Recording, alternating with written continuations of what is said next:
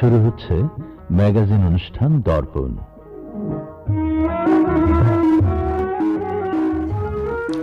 শুভ সকাল। প্রিয় শ্রোতা, আজ সাতই চৈত্র চোদ্দশো আঠাশ বঙ্গাব্দ একুশে মার্চ দু বাইশ খ্রিস্টাব্দ সোমবার। আমাদের মহান মুক্তিযুদ্ধের স্মৃতি বিচরিত মাস মার্চের শেষ সপ্তাহ অতিক্রম হতে চলেছে। তিরিশ লক্ষ শহীদের আত্মত্যাগে স্মৃতি বিজড়িত ঐতিহাসিক এই মাসটির সঙ্গে জড়িয়ে আছে আমাদের মহান স্বাধীনতা সংগ্রাম তথা গৌরবময় মুক্তিযুদ্ধের ইতিহাস। এই মার্চ মাসের সাথে জড়িয়ে আছে স্বাধীনতার মহান স্থপতি, সর্বকালের সর্বশ্রেষ্ঠ বাঙালি, জাতির পিতা বঙ্গবন্ধু শেখ মুজিবুর রহমানের জন্মের স্মৃতি। মাত্র চার দিন আগেই জাতি যথাযোগ্য মর্যাদায় উদযাপন করল, জাতির পিতার জন্মদিন সতেরোই মার্চ। উনিশশো একাত্তর সালে মার্চের প্রথম দিনটি শুরু হয়েছিল পাকিস্তানি সামরিক শাসকদের চরম অন্যায়ের বিরুদ্ধে বাঙালি জাতির সম্মিলিত প্রতিবাদের মধ্য দিয়ে। বাঙালির গণরায়কে অপমান করে পাকিস্তানের প্রেসিডেন্ট জেনারেল ইয়াহিয়া খান, বাঙালির অবিসংবাদিত নেতা বঙ্গবন্ধু শেখ মুজিবুর হাতে রাষ্ট্র ক্ষমতা হস্তান্তর না করার ষড়যন্ত্রের বিরুদ্ধে রুখে দাঁড়িয়েছিল বাংলার মানুষ। আর সেই প্রতিবাদের পথ ধরেই একাত্তরের সাতই মার্চ বঙ্গবন্ধু শেখ মুজিব সমগ্র জাতিকে আসন্ন মুক্তিযুদ্ধের জন্য প্রস্তুত করলেন তার ঐতিহাসিক ভাষণের মধ্য দিয়ে। বাঙালির ইতিহাসের সবচেয়ে গৌরবের এবং সবচেয়ে দুঃখ যাতনার মাস রক্তে ভেজা এই মার্চ বিদায় নিতে চলেছে। কিন্তু থেকে যাবে তার রেশ সারাটা বছর ধরেই। কেননা পহেলা মার্চ তেসরা মার্চ, সাতই মার্চ, পঁচিশে মার্চ, ছাব্বিশে মার্চ, এক একটি দিন যেন ইতিহাসের এক একটি জ্বলন্ত অধ্যায়। হ্যাঁ সুপ্রিয় শ্রোতা বন্ধুরা, এই দিনগুলো বাঙালি জাতির ইতিহাসে চিরস্মরণীয় হয়ে থাকবে। দূরেরও কাছের বন্ধুরা, চৈত্রের দক্ষিণা বাতাসেও যখন অগ্নিঝরা তাপ রৌদ্র ঝলসিত সকালে বাংলাদেশ বেতার ঢাকা কেন্দ্রের ম্যাগাজিন অনুষ্ঠান দর্পণ থেকে সবাইকে রক্তিম শুভেচ্ছা জানাচ্ছি। আমি আহসান হাবিব বাপ্পি। এবং আমি তামান্না সিদ্দিকী।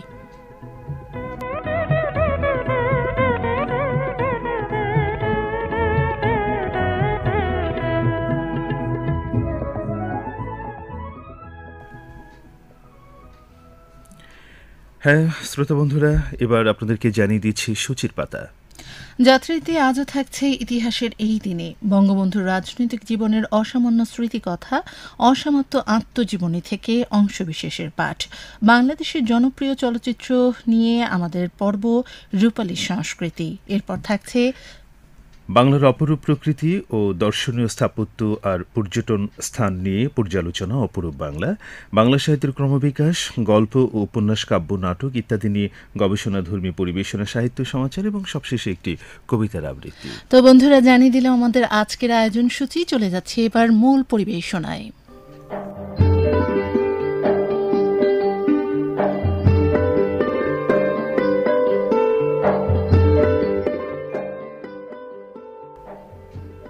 শ্রোতা বন্ধুরা, প্রথমেই ইতিহাসের এই দিনে অসংখ্য ঘটনার ভিড়ে কিছু ঘটনা ইতিহাস হয়ে যায়। বেঁচে থাকে মানুষের স্মৃতিতে আর শ্রুতিতে। অনেক ঘটনা হারিয়ে যায় কালের আবর্তে। স্মরণীয় হয়ে থাকা অসংখ্য ঘটনা থেকে তেমনি কিছু ঘটনার তথ্য তুলে ধরছে এবার।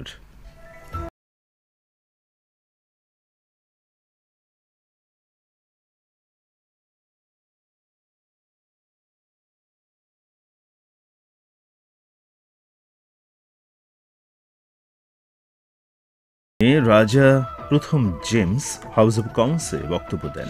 সতেরোশো একানব্বই সালের এই দিনে ব্রিটিশ সৈন্যরা টিপু সুলতানের কাছ থেকে ব্যাঙ্গালোর দখল করে নেয়। আঠারোশো ছত্রিশ সালের এই দিনে কলকাতায় প্রথম গ্রন্থাগার স্থাপিত হয়। উনিশশো আটচল্লিশ সালের এই দিনে ঢাকার রেসকোর্স ময়দানে অনুষ্ঠিত জনসভায় পাকিস্তানের গভর্নর জেনারেল মোহাম্মদ আলী জিন্না ঘোষণা দেন যে উর্দুই হবে পাকিস্তানের একমাত্র রাষ্ট্রভাষা।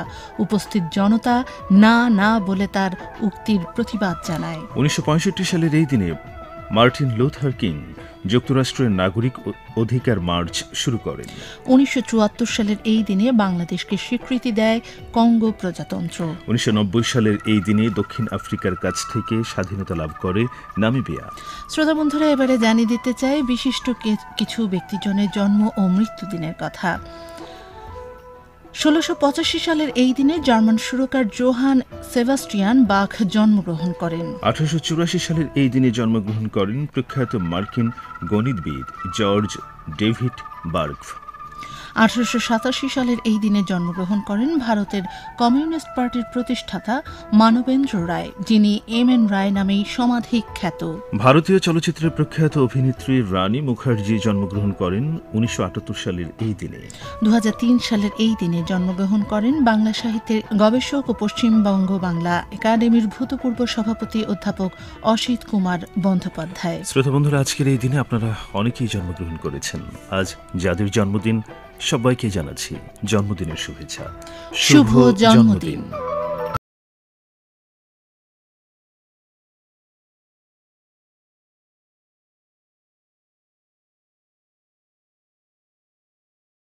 আপনাদের এই পছন্দের ম্যাগাজিন অনুষ্ঠান দর্পণ। দর্পণের এবারের আয়োজন অসমাপ্ত আত্মজীবনী গ্রন্থ থেকে পাঠ। আর এই পর্বে অংশবিশেষ পাঠ করে শোনাচ্ছেন খন্দকার শামসুজ্জোহা।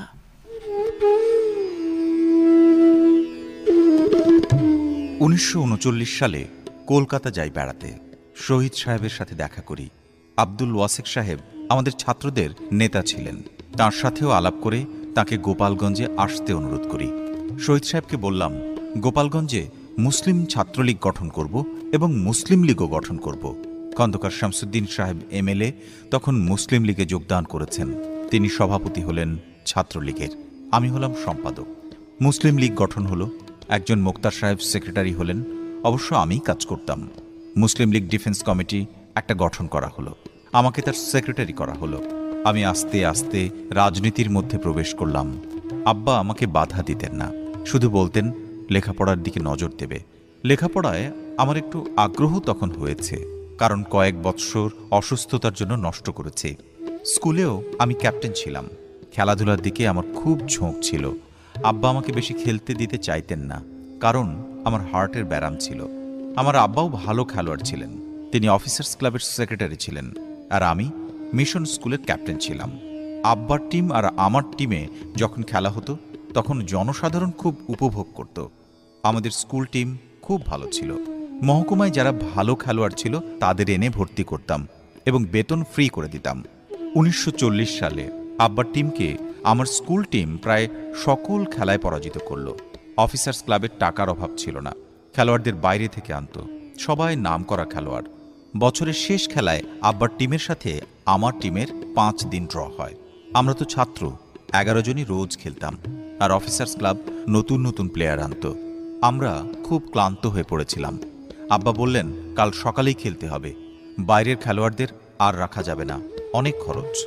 আমি বললাম আগামীকাল সকালে আমরা খেলতে পারব না। আমাদের পরীক্ষা। গোপালগঞ্জ ফুটবল ক্লাবের সেক্রেটারি একবার আমার আব্বার কাছে আর আর একবার আমার কাছে কয়েকবার হাঁটাহাঁটি শুরু করলেন। তোমাদের বাপ ব্যাটার ব্যাপার আমি বাবার হাঁটতে পারি না। আমাদের হেডমাস্টার তখন ছিলেন বাবু রসরঞ্জন সেনগুপ্ত। আমাকে তিনি প্রাইভেটও পড়াতেন। আব্বা হেডমাস্টার বাবুকে খবর দিয়ে আনলেন। আমি আমার দল বল নিয়ে এক গোলপোস্টে আর আব্বা তার দল বল নিয়ে অন্য গোল বন্ধুরা, আমাদের চলচ্চিত্রে রয়েছে এক সুদীর্ঘ ঐতিহ্য। সোনালী দিনের বহু চলচ্চিত্র আজও স্মরণীয়। বাংলাদেশের চলচ্চিত্রের সেই গৌরবময় স্মৃতি নিয়েই দর্পণের এবারের পরিবেশনা রূপালী সংস্কৃতি। গোলাম মোর্শেদ আহমেদের সংকলনে রূপালী সংস্কৃতি উপস্থাপন করছেন সায়দা জান্নাত বাঁধন।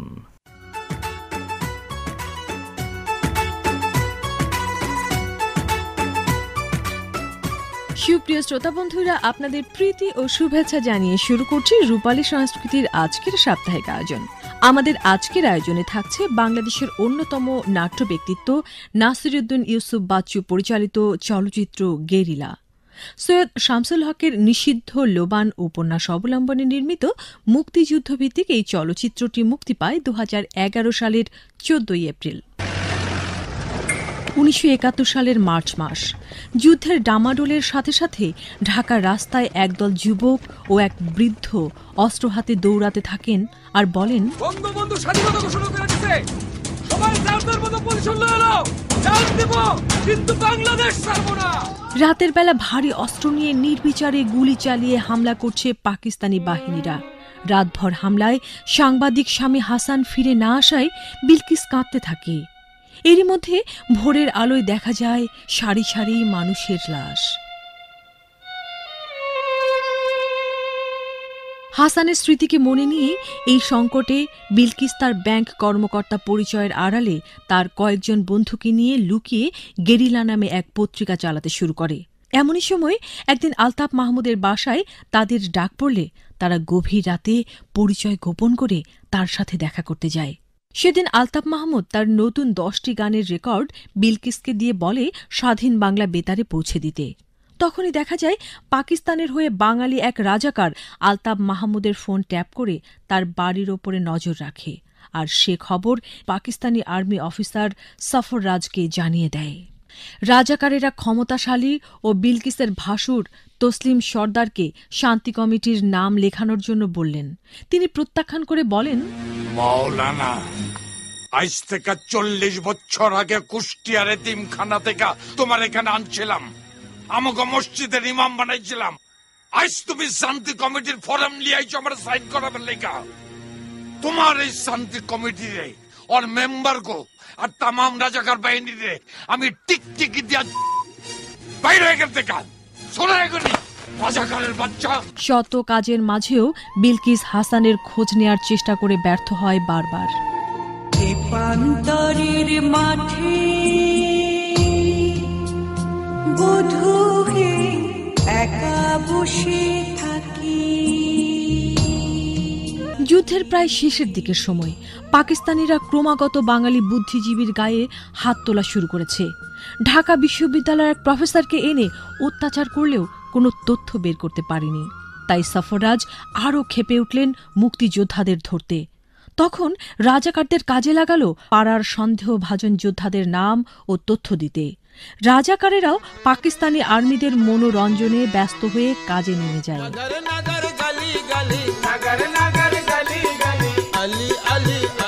অন্যদিকে, তৎকালীন উচ্চ পদস্থ সরকারি অফিসারের বউ মিসেস খান তার সামাজিক পরিচয়ের আড়ালে বিলকিস ও মুক্তিযোদ্ধাদের গাড়ি, ডাক্তার তথ্য দিয়ে সাহায্য করে যান খুব সাবধানে। আলতাফ মাহমুদ তার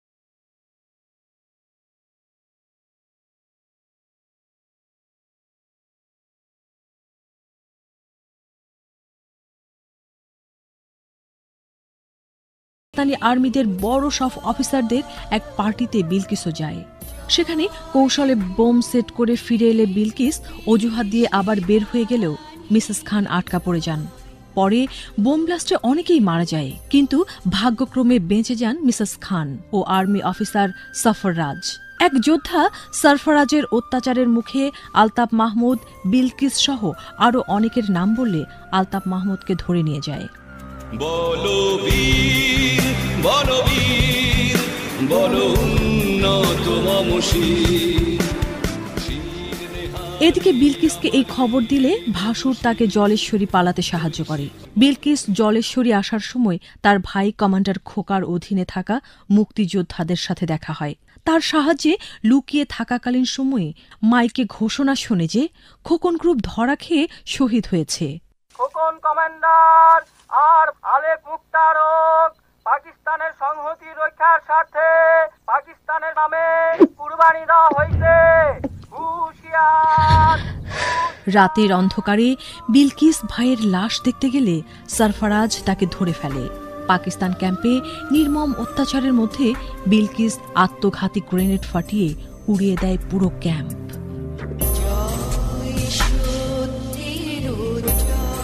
শ্রোতা গেরিলা চলচ্চিত্রের অন্যতম গুরুত্বপূর্ণ চরিত্রে অভিনয় করেছেন Jaya Ahsan, Ferdous Ahmed, Raisul Islam Asad, Shatabdi Wadud, A T M Shamsuzzaman, Piyush Bandyopadhyay Shampa Reza Ahmed Rubel, Azad Abul Kalam.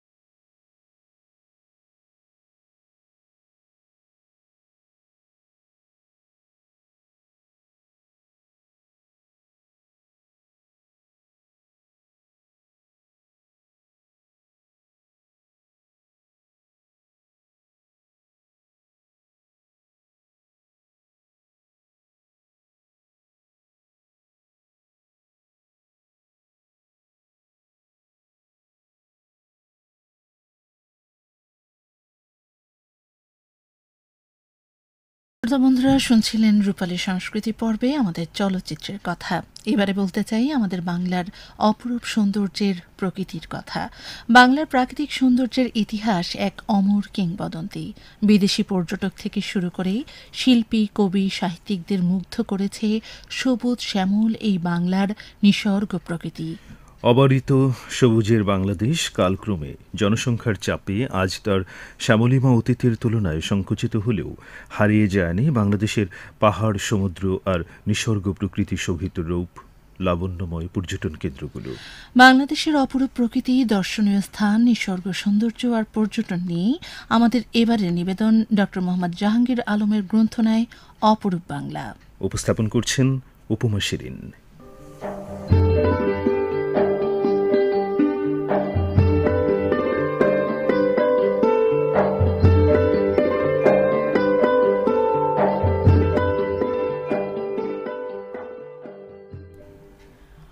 অপার সৌন্দর্যের লীলাভূমি প্রিয় এ বাংলাদেশ। এখানে রয়েছে বিভিন্ন শতকের ইতিহাস, ঐতিহ্য, স্থাপনা ও নানা নিদর্শন। তাতে যেমন রাজবংশের স্থাপত্য শৈলী পাওয়া যায়, তেমনিভাবে প্রাচীন পুরাকীর্তি, ধর্মীয় উপাসনালয়, প্রসিদ্ধ নগরীর স্থাপত্য ঐতিহ্যও দেখা যায়। প্রিয় শ্রোতা, অপরূপ বাংলার আজকের পর্বে আপনাদের বলব, ঐতিহ্যবাহী স্থাপনা চট্টগ্রাম জেলার জাতিতাত্ত্বিক জাদুঘর সম্পর্কে। জাতিতাত্ত্বিক জাদুঘর বাংলাদেশের চট্টগ্রাম শহরের আগ্রাবাদে অবস্থিত দেশের একমাত্র জাতিতাত্ত্বিক জাদুঘর, যেটি মূলত বাংলাদেশের বিভিন্ন নৃতাত্ত্বিক জাতিগোষ্ঠীর দৈনন্দিন জীবন প্রণালী এবং পারস্পরিক বোঝাপড়া ও সহকর্মী অনুভূত লালনের জন্য প্রতিষ্ঠিত। জাদুঘরে বাংলাদেশের উপজাতি গোষ্ঠীর ইতিহাস সমন্বিত উপকরণের প্রদর্শন করা হয়েছে। এশিয়া মহাদেশের দুইটি জাতিতাত্ত্বিক জাদুঘরের মধ্যে চট্টগ্রামের জাতিতাত্ত্বিক জাদুঘর অন্যতম। অন্যটি রয়েছে জাপানে। এটি গবেষণা কাজেও ব্যবহৃত হয়ে থাকে। প্রতিদিন দেশি বিদেশি গবেষক সহ অসংখ্য দর্শনার্থী জাদুঘর প্রদর্শন করেন। জাতিতাত্ত্বিক জাদুঘর চট্টগ্রাম শহরের আগ্রাবাদ বাণিজ্যিক এলাকায় বাদামতলি মোড় সংলগ্ন এক দশমিক দুই পাঁচ একর স্থান জুড়ে প্রতিষ্ঠিত হয়। বিশ শতকের ষাটের দশকের গোড়ার দিকে উনিশশো পঁয়ষট্টি সালে তৎকালীন পাকিস্তান প্রত্নতত্ত্ব অধিদপ্তরের উদ্যোগে জাদুঘরটির নির্মাণ কাজ শুরু হয়। উনিশশো চুয়াত্তর সালের নয় জানুয়ারি স্বাধীন বাংলাদেশ সরকারের প্রথম শিক্ষামন্ত্রী ইউসুফ আলী এই জাদুঘর উদ্বোধন করেন এবং সর্বসাধারণের পরিদর্শনের জন্য জাদুঘরটি উন্মুক্ত করা হয়। পরবর্তীকালে উনিশশো পঁচাশি থেকে উনিশশো পঁচানব্বই সালের মধ্যে জাদুঘরে দুটি কক্ষ অন্তর্ভুক্ত হয়। একতলা বিশিষ্ট দক্ষিণমুখী জাদুঘরটি পাঁচটি ভাগে বিভক্ত, যেখানে রয়েছে একটি কেন্দ্রীয় হলঘর সহ সর্বমোট চারটি গ্যালারি। প্রাথমিকভাবে প্রতিটি গ্যালারিতে তিনটি করে কক্ষ নির্মাণের পরিকল্পনা থাকলেও শুধুমাত্র পশ্চিমের দুটি গ্যালারিতে দুটি করে কক্ষ নির্মিত হয়েছে। ফলে বর্তমানে জাদুঘরে সর্বমোট প্রদর্শনী কক্ষের সংখ্যা এগারোটি। জাদুঘরে উনত্রিশটি বিভিন্ন নৃতাত্ত্বিক গোষ্ঠীর জীবনধারা প্রদর্শন করা হচ্ছে। বাংলাদেশের পঁচিশটি জনগোষ্ঠী সহ আরও পাঁচটি দেশের জাতিতাত্ত্বিক সামগ্রীর তুলনামূলক বিশ্লেষণে প্রদর্শিত রয়েছে। বাংলাদেশের বিভিন্ন জনগোষ্ঠীর দৈনন্দিন জীবনধারায় প্রতিফলিত প্রত্ন সংস্কৃতির পরিচয়কে মানচিত্র, আলোকচিত্র, মডেল, কৃত্রিম পরিবেশ দেওয়ালচিত্র, সংক্ষিপ্ত পরিচিত ফলক প্রভৃতি মাধ্যমে বিভিন্ন বিষয়বস্তুর প্রদর্শন করা হয়েছে। পাশাপাশি পাকিস্তানের পাঠান সিন্ধি পাঞ্জাবি কাফির সোয়াত, ভারতের আদি ফুয়া, মুরিয়া, মিজো কিরগিস্তানের কিরগিজ, অস্ট্রেলিয়ার অস্ট্রাল জাতিগোষ্ঠীর বিভিন্ন নিদর্শন। এছাড়াও দুই জার্মানির মিলন প্রাচীরের ভগ্নাংশের কিছু নিদর্শন জাদুঘরে প্রদর্শিত আছে। ভারতীয় নৃতাত্ত্বিক জনগোষ্ঠীর মধ্যে আদি, মুরিয়া, মিজো এবং ফুয়া অন্তর্ভুক্ত রয়েছে। হলরুমের মানচিত্র এবং দেয়ালচিত্রের মাধ্যমে উপজাতিদের বিভিন্ন উৎসব ও সংস্কৃতি সম্পর্কেও ধারণা দেওয়ার ব্যবস্থা রয়েছে। এছাড়াও উল্লেখযোগ্য হিসেবে রয়েছে উনিশশো উননব্বই সালে ভেঙে ফেলা জার্মানির বার্লিন প্রাচীরের টুকরো অংশ। জাদুঘরে রয়েছে একটি ছোট গ্রন্থাগার এবং ভবনের সামনে রয়েছে সবুজ বাগান।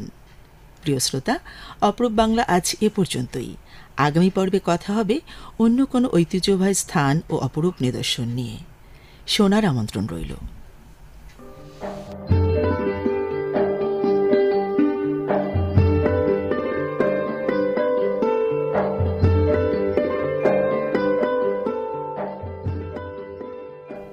প্রিয় বন্ধুরা আপনারা শুনছেন আপনাদের প্রিয় ম্যাগাজিন দর্পণ যা সরাসরি প্রচার হচ্ছে বাংলাদেশ বেতার ঢাকা থেকে প্রিয় শ্রোতা বাংলা সাহিত্যের রয়েছে এক সুদীর্ঘ ঐতিহ্য। এবার সেই সাহিত্যের ঐতিহ্যের কথাই শুনব আমরা।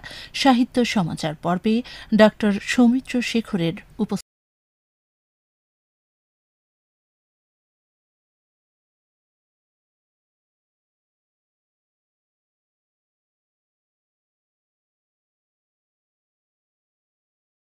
চারটি উপন্যাস লিখেছেন। এর মধ্যে জলাঙ্গি খুবই হৃদয় বিদারক মুক্তি সংগ্রামীদের যে কীভাবে নির্যাতনের শিকার হতে হয়েছে। অনেকে যে নিষ্ঠুরভাবে নিহতও হয়েছেন, তেমনি একটি ঘটনার উল্লেখ আছে জলাঙ্গিতে। উপন্যাসের নায়ক জামির আলী একজন মুক্তিযোদ্ধা। তাকে এবং তার দইতাকে হানাদারেরা হত্যা করে পাথর বেঁধে মেঘনার জলে ডুবিয়ে দেয়। সলিল সমাধি হয় তাদের। কৃষকের সন্তান জামির আলী বঙ্গবন্ধুর ছয় দফা ঘোষণার পর বাড়ির অন্যদের অমতেই দেশের জন্যে ঘর ছাড়ে। পরে সে মুক্তিযুদ্ধে অংশগ্রহণ করে। দেশের জন্যে প্রাণ ত্যাগ করবে এই প্রতিজ্ঞা নেয় ভেতরে ভেতরে।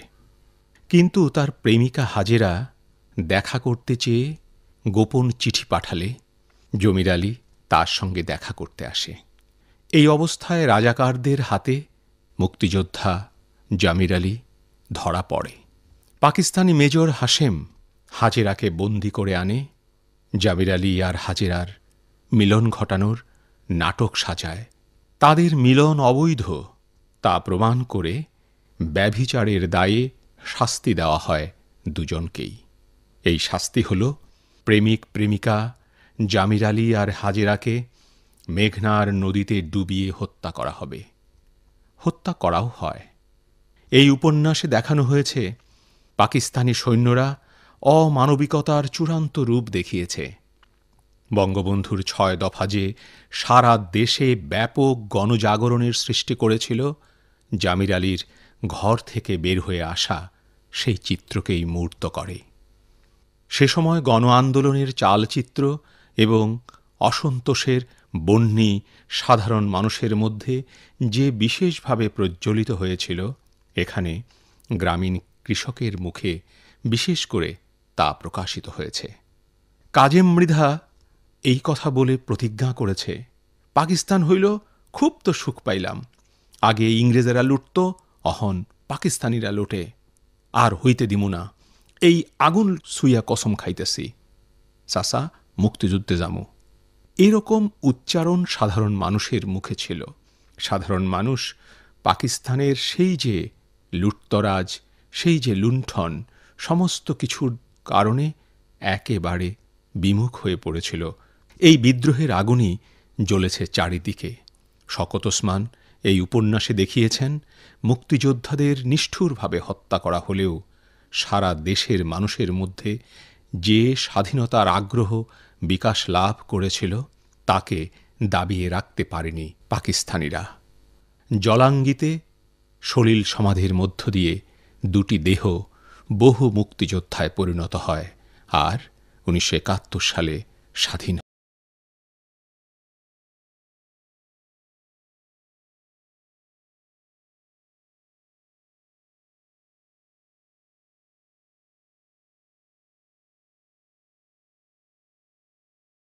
প্রিয় বন্ধুরা, শুনছিলেন সাহিত্য সমাচার।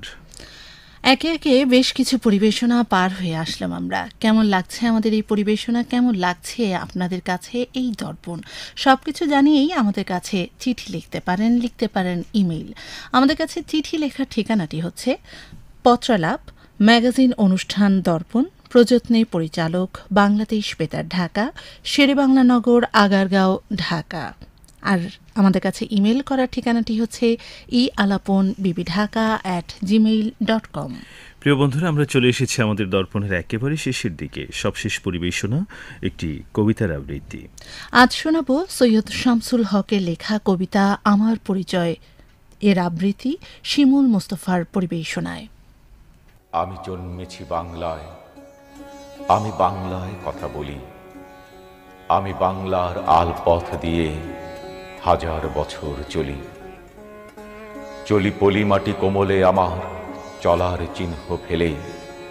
তেরো শত নদী সুধায় আমাকে, কোথা থেকে তুমি এলে? আমি তো এসেছি চর্যাপদের অক্ষরগুলো থেকে। আমি তো এসেছি সওদাগরের ডিঙার বহর থেকে। আমি তো এসেছি কৈবর্তের বিদ্রোহী গ্রাম থেকে। আমি তো এসেছি পালযুগ নামে চিত্রকলার থেকে। এসেছি বাঙালি পাহাড়পুরের বৌদ্ধবিহার থেকে। এসেছি বাঙালি জোর বাংলার মন্দির বেদি থেকে। এসেছি বাঙালি বরেন্দ্র বরেন্দ্রভূমি সোনা মসজিদ থেকে। এসেছি বাঙালি আউল বাউল মাটির দেউল থেকে। আমি তো এসেছি সর্বভৌম বারো ভুইয়ার থেকে। আমি তো এসেছি কমলার দিঘি মহুয়ার পালা থেকে। আমি তো এসেছি তিতুমির আর হাজি শরিয়ত থেকে।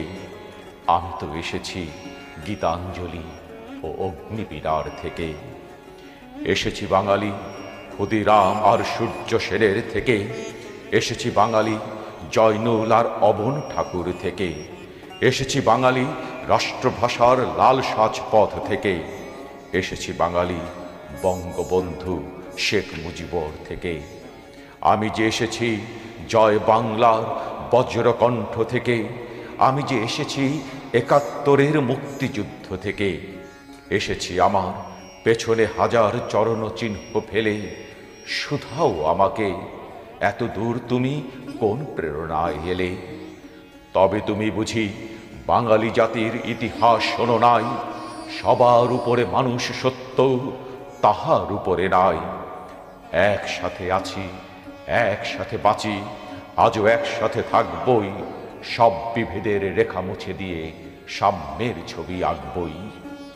পরিচয়ে আমি বাঙালি, আমার আছে ইতিহাস গর্বে, কখনোই ভয় করি নকো আমি উদ্যত কোনো খর্গে। শত্রুর সাথে লড়াই করেছি, স্বপ্নের সাথে বাস, অস্ত্রেও শান দিয়েছি যেমন শস্য করেছি চাষ। একই হাসি মুখে বাজিয়েছি বাঁশি, গলায় পড়েছি ফাঁস। আপোষ করিনি কখনোই আমি, এই হলো ইতিহাস। এই ইতিহাস ভুলে যাব আজ, আমি কি তেমন সন্তান, যখন আমার জনকের নাম শেখ মুজিবুর রহমান? তারই ইতিহাস প্রেরণায় আমি বাংলায় কথা বলি, চোখে নীলাকাশ বুকে বিশ্বাস পায়ে উর্বর বলি। শ্রোতা বন্ধুরা, শুনছিলেন আমার পরিচয় কবিতার আবৃত্তি। কবিতার কথা রেশ ধরেই বলতে চাই, আমাদের পরিচয় আমরা বাঙালি, বাংলাদেশের জনগণ। যে দেশটিকে আমরা পেয়েছি লাখো শহীদের জীবন উৎসর্গে, বীর মুক্তিযোদ্ধাদের আত্মদানে। এত কষ্ট আর ত্যাগে অর্জিত এ দেশ এই স্বাধীনতার মর্যাদা অক্ষুণ্ণ রাখতে আমাদেরই কাজ করতে হবে।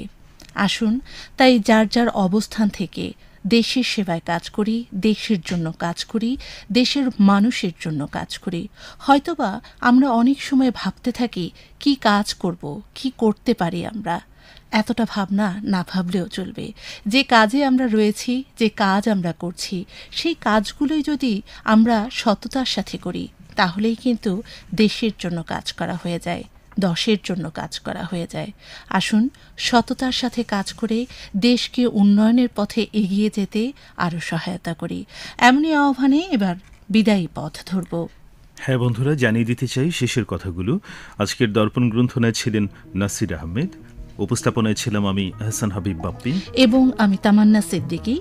প্রযোজনা সহযোগিতায় ছিলেন মোহাম্মদ ওয়াকিবুর রহমান। প্রকৌশল সহযোগিতায় মোহাম্মদ সাজ্জাদ হোসেন খান। নির্দেশনায় ছিলেন মোহাম্মদ নাসিমুল কামাল আর দর্পণ অনুষ্ঠানটি প্রযোজনা করলেন মোহাম্মদ দুলাল হোসাইন জয় বাংলা।